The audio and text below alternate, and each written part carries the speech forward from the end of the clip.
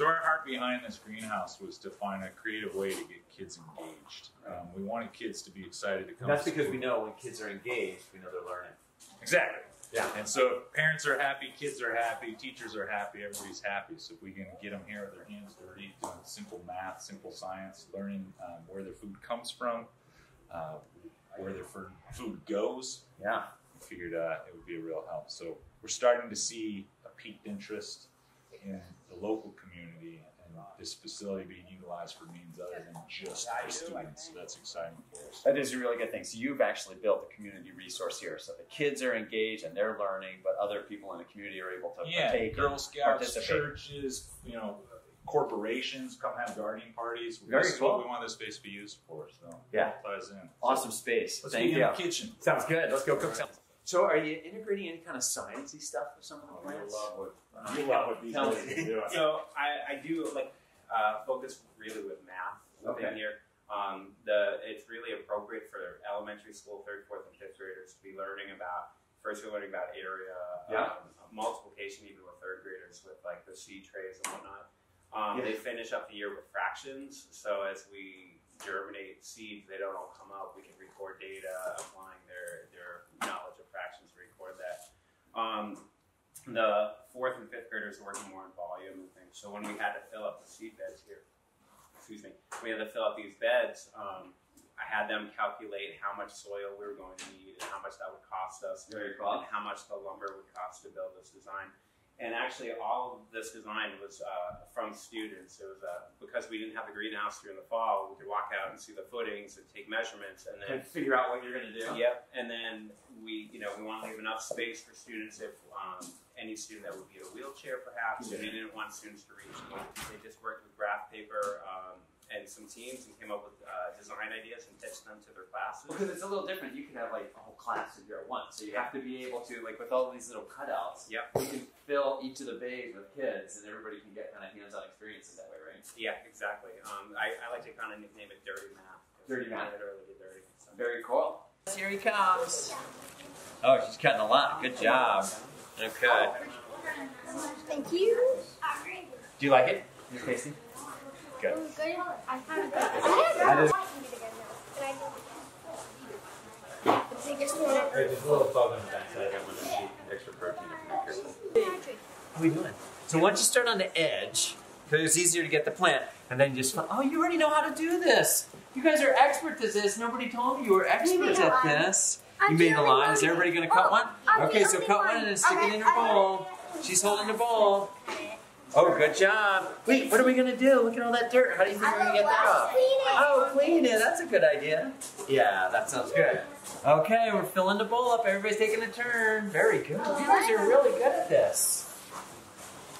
What you doing? So how hungry are you guys for lettuce? Uh, Scissor safety, right, there we go. You can cut a little bit more there. let's see what's Okay. So we're gonna cut all this, don't we? Um, how much do we need? Where's our chef? We'll have to ask our chef. We'll cut as much as we need here. Very good. Good cutting, guys. All right. Sure, I got your bowl. I'm holding on for you. There you go. You just like kind of lift some of the leaves up and then you snip it near the bottom. Be careful with the leaves. And it comes out Yep. really easy. It's even easier to cut than paper. Turtle gasket. It's huge. Yeah, we're gonna wash it. No problem. If there's, here you go. I'm gonna eat some. Are they allowed to taste it? Yeah, go for it. Yes. Who else wants a piece of lettuce to eat? Let's go. There you go. Anybody else want a piece of lettuce? You did? Okay, yeah. Throw it in there. That's okay. Everybody grab a radish and throw it in the bowl. But show it the camera because actually everybody wants to see what you guys are picking over there. There you go. Those are some nice looking radishes. Ooh, what's that? Funny looking one. Hey, you guys, check out this one. It almost looks like a different kind of seed. Oh, yeah. Tap some of the dirt off of that one before you stick it in there. I see those radishes. Really sweet. Awesome, you guys. Okay, so let's take this back to the kitchen and go cook something. Yeah, heavy. Oh yeah, that is. Yeah, I can feel it. Awesome greenhouse you guys have here. This is incredible. Did you see those kids? They were so excited picking the lettuce They're and really pulling out the radishes. You know, Well, it's educational. it is very You know, it's educational. They get to learn, and we, we like to use all these products that we're growing here throughout the district. Okay. So we have a program called Tasted Tuesday, uh, every. Tasted Tuesday. Sounds fun. It's awesome, and the kids have really New hashtag Tasted It Tuesday. Taste It Tuesday.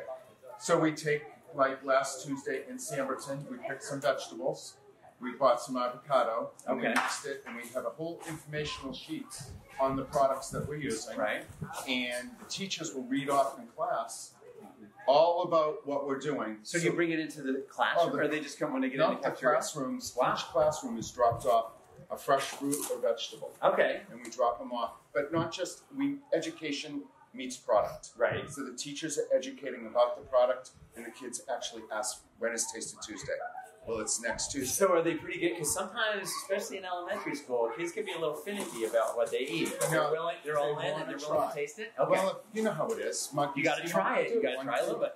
Right. Yeah. Right. So we we've done jicama, we've Wow. done star fruit. We want to educate the kids. Yeah, and different things that are out there. Mhm. What a great idea. Yeah. So now, do you have other programs like this around the district? Is there other greenhouses? Well, or- we do have an ag center Okay. at the high school that Great. we're utilizing, Okay. and next year we have some new things going on at the middle school. Very cool. So each school will work on having something this great. this is awesome. This Yeah, is a great is opportunity for the kids. Yeah, awesome. Thank you. Thanks. Yeah.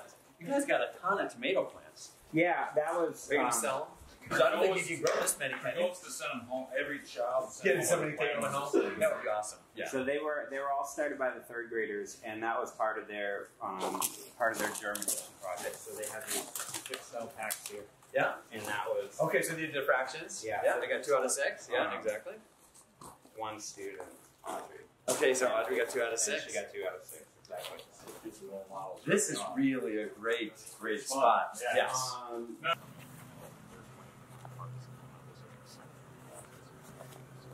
It's a neat opportunity. Yes, it is a great opportunity. Quick question, can I ask you a question? Are you familiar with um, bionutrients?